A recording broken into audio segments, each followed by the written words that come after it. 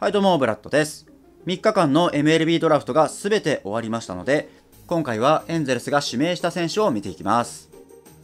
では早速1巡目から。エンゼルスにとってここ26年で最も早いピックとなった全体8位で指名されたのがテネシー大学のクリスチャン・ムーアです。テネシー大学というと今エンゼルスのブルペンで活躍している剛腕ベン・ジョイスと同じですね。MLB がつけているドラフト候補のランキングで13位だったムーアは一言で言えば強打が売りの二塁手です。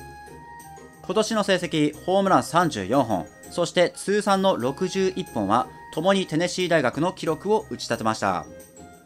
ただ守備と走塁の評価は平均程度であまり高くはありません。ちなみにセカンドの他にショート、サード、外野も大学時代守っていたことがあるんですがエンゼルスのスカウト部長であるマキル・ベインはセカンドとして起用していく方針をすでに明言しています。また大舞台での勝負強さも実証済みで今年のカレッジワールドシリーズでは68年ぶり史上2人目となるサイクル安打を達成。他の試合でも活躍し見事テネシー大学を初の優勝へ導きました。続いてムーアについてのエピソードを2つ紹介します。ムーアの言動を聞いていると非常に負けず嫌いなんだなとにかく勝ちたいんだなというのが伝わってきました。ドラフト指名された時のインタビューでは自分は勝者であると発言していますしエンゼルスでも必ずリングを手に入れる。それは僕の血に刻まれていることだという発言もありました。また6月のインタビュー記事では7歳上に兄の CJ がいたことで幼少期から競争心が育まれたとされています。ちなみに兄の CJ は2014年ドラフト13巡目で D バックスに指名された過去があります。そしてムーアは憧れの選手として元ヤンキースのデレック・ジーターを挙げているんですが、その理由は彼の素晴らしい個人スタッツではなく、ワールドシリーズを5回制覇したからだと話しています。だからとにかくチームとして試合に勝ちたいんでしょうね。で、さらにムーアは野球においては平凡では痛くないと力強く語っていますし、これから始まるプロのキャリアにおいてもモチベーション高く、誰にも負けないような向上心を持ってきっとやってくれるでしょう。そしてムーアについて最後もう1点。実は現在のエンゼルスの監督、ウォッシュと過去につながりがありまして、ムーアが14歳の時に野球教室で指導を受けたというんですね。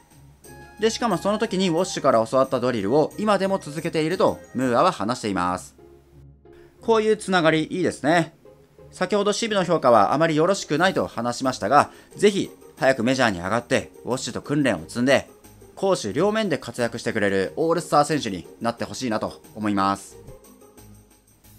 続いて2巡目全体45位で指名したのがテキサス A&M 大学のリリーバークリス・コルテスです。彼は MLB のランキングでは85位。マックス101マイルのシンカーとスライダーを武器としているんですが、コマンドは改善の余地ありです。ちなみにエンゼルスはコルテスを先発として育てることを明言しています。これだけ早い指名なので先発と聞いてほっとしました。僕はソリアーノの先発転向を成功例とも呼んでしまいますが、同じハードシンカー使い同士、このコルテスも先発として大成してほしいです。続いては大谷選手にクオリファイングオファーを出して拒否された補償ピック全体74位で指名されたのがダラスバプテスト大学のライアン・ジョンソンですジョンソンは MLB のランク47位。198センチと非常に長身の先発投手です。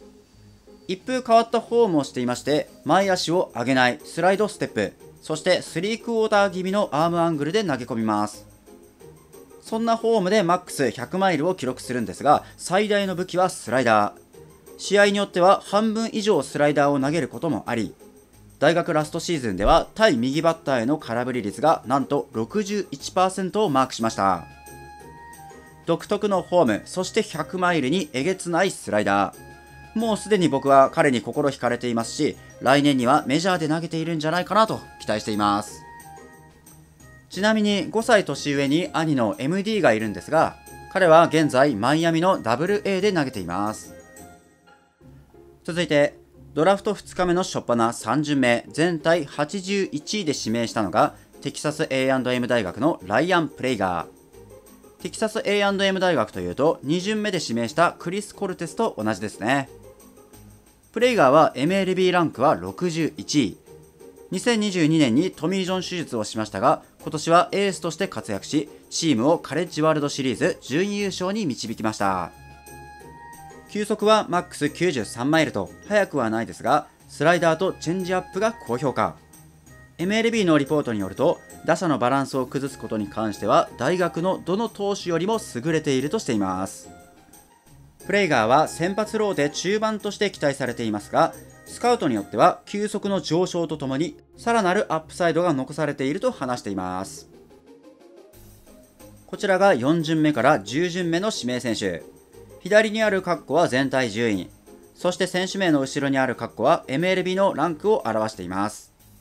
4巡目は大学でクローザーを務めたオースティン・ゴードンなんですがエンゼルスは先発として育てるとすでに明言していますそして5巡目、ここで初めての高校生、ディラン・ジョーダンを指名。今季の成績は58イニングで防御率1.32をマークしました。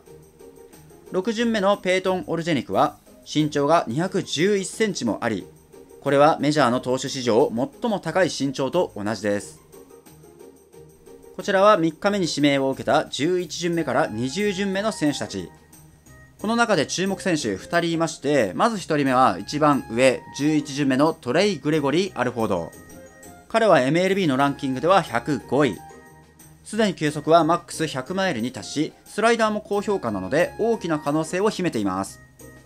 バージニア大学へ進学すると見られていたんですが、そちらの奨学金を断り、エンゼルスがオーバースロットで契約すると言われています。そして2人目ですが、17巡目のルーカス・ラミレス。彼はレッドソックスなどで活躍したパワーヒッターマニー・ラミレスの息子です指名後にエンゼルスのスカウト部長がこのルーカスと電話で話した時には泣いて喜んでいたそうですあともう一人紹介しておきますと19巡目のコナー・ガットウッド彼は MLB ランク103位なので非常に評価が高い選手なんですがエンゼルスのオファーには応じず大学へ進学することが決まっていますエンゼルスは先ほど話したグレゴリー・アルフォードとオーバースロットで契約する予定ですので、ガットウッドに関してはもうしょうがないですね。まあきっと数年後のドラフトで上位指名されますので、その時にはエンゼルスとご縁があってほしいなと思います。以上、エンゼルスが今年ドラフト指名した選手を見ていきました。皆こっからが本当の戦いですが、とりあえずプロに入ったということでおめでとうと言いたいですし、これからエンゼルスを何卒よろしくお願いしますという気持ちですね。エンゼルスであれば、まあ、1、2年以内の早期昇格が十分見込めますので、ぜひ選手たちはそれをモチベーションにして、切磋琢磨して、エンゼルスの明るい未来を築いてほしいです。はい、ということで、今回は以上といたします。ご視聴誠にありがとうございました。また別の動画でお会いしましょう。レッツゴーエンジョーさよならバイバイ